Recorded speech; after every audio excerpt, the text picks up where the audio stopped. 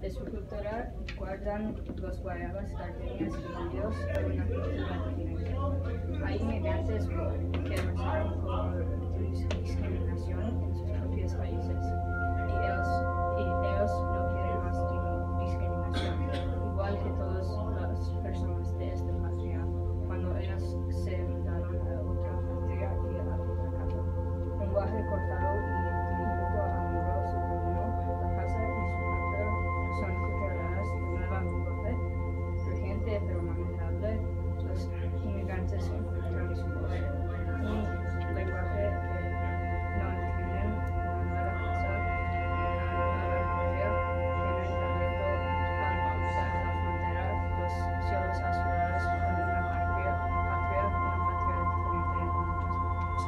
Muy bien, buen trabajo.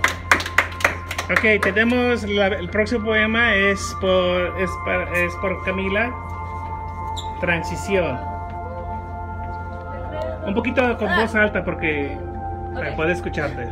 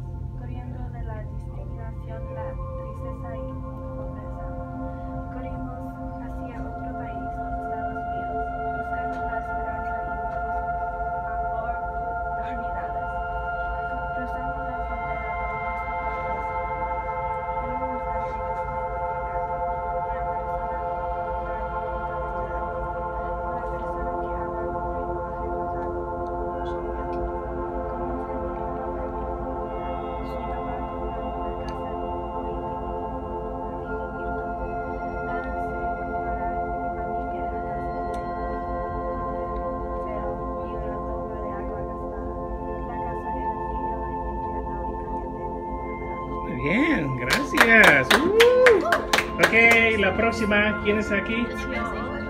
Ok. Oh, perdón. Podemos continuar con esta y luego vamos para allá. Ok. ¿Quién es? Yo. Ok, vamos. a mi casa y mi patria. Ayer nosotros nos cruzamos la frontera a los Estados Unidos durante el invierno. Nos mudamos a una casa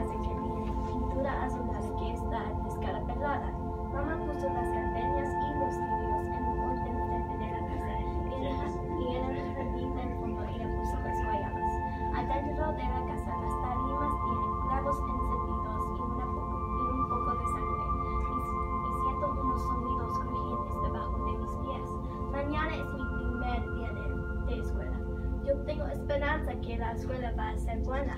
Pero cuando yo le dije a mi mamá, vi, vi una tristeza en su cara. Ella cree que los niños van a decirme que yo tengo un, que yo soy un inmigrante, que yo soy una tartamude cuando hablo inglés y que tengo un lenguaje cortado y roto. Ella dijo que ellos se van a reír, reír de mi casa nueva.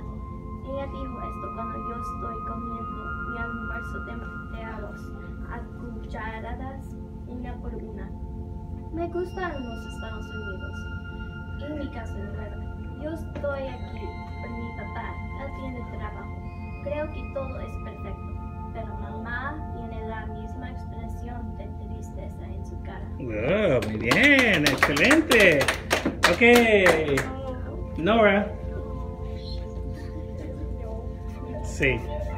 Ilumíname, Nora. Ok, ¿Qué? Oh, continúa. Sí, mi nueva casa. Mis memorias vienen de mi casa con los gardenias, un camino de grava cru- crujiente y lirios ardientes, unas cucharadas de pozole en una noche de invierno. La tristeza de estas memorias son como los clavos encendidos alojados en mi corazón. Cuando mi familia cruzó la frontera a los Estados Unidos, encontré un mundo de cosas muy diferentes.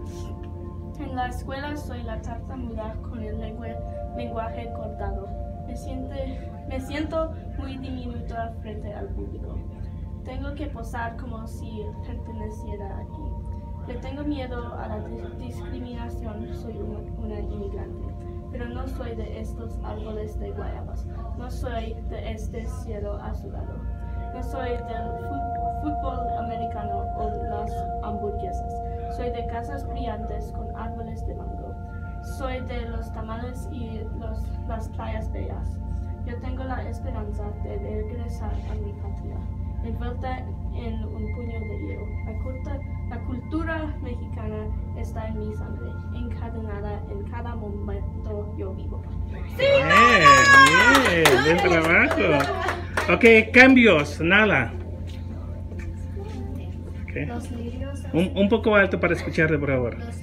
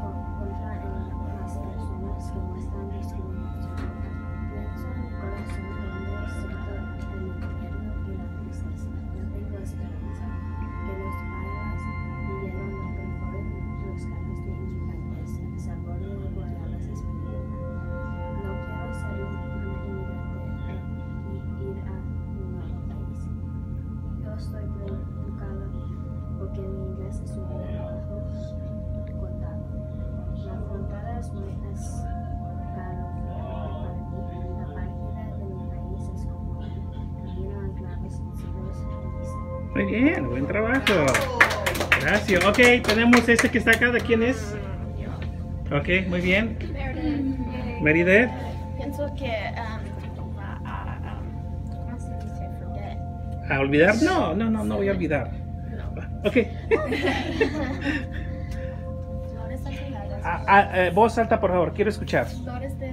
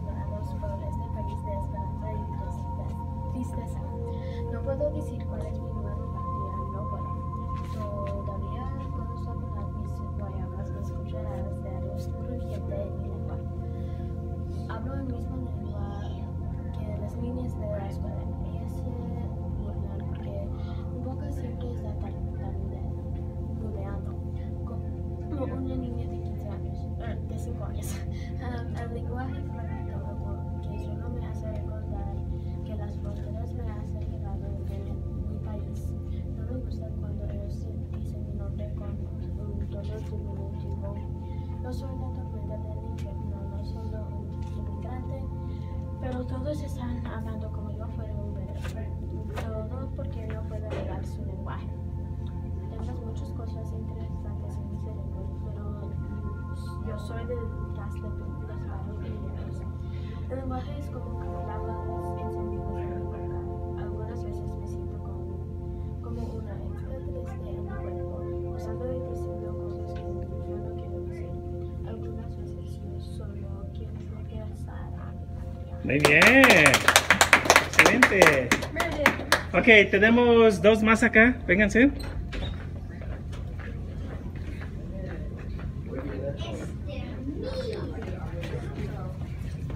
Ok.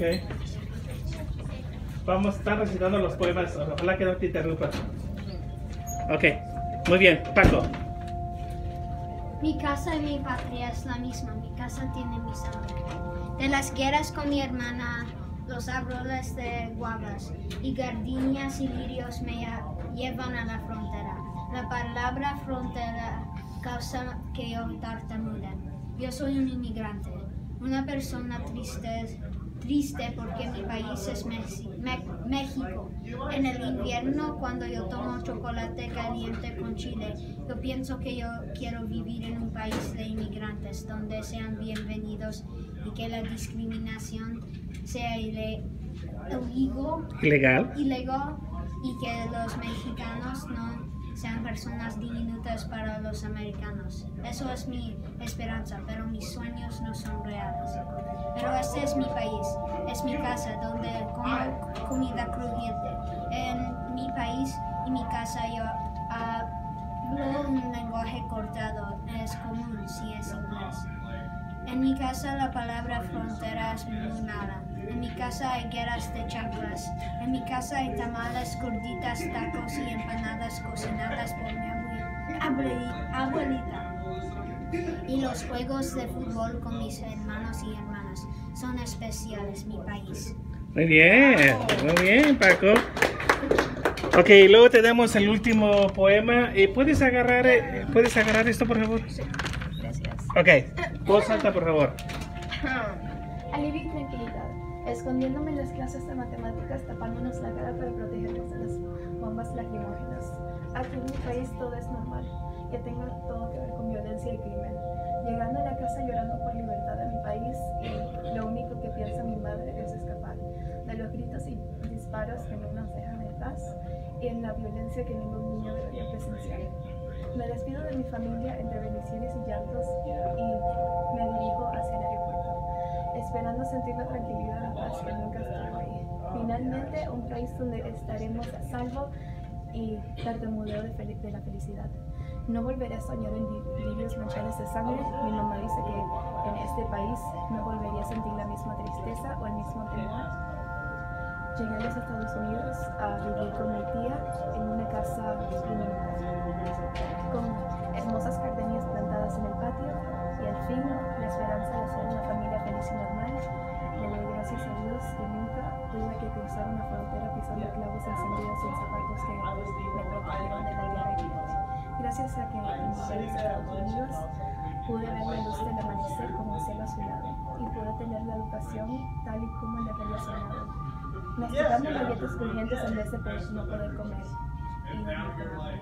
Agradecida también a que tener un suéter que me cubriera en el frío invierno. Cuando me fui de mi país, vi el camino hacia paz y las barras de hierro que me detenían ya no estaban ahí. Antes vivía en un mundo de violencia mezclado con cucharadas de leche condensada y deliciosas guayabas en el desayuno. Ahora vivo en un mundo de felicidad y tranquilidad, posando mis manos para formar un símbolo de paz y enseñándoselo a mi mamá, simbolizando el mundo en que ahora vivíamos. No más crimen, solo amor y paz. No más discriminación, solo tú y yo. Te llevaré siempre en mi corazón, Venezuela. Yeah, muy bien.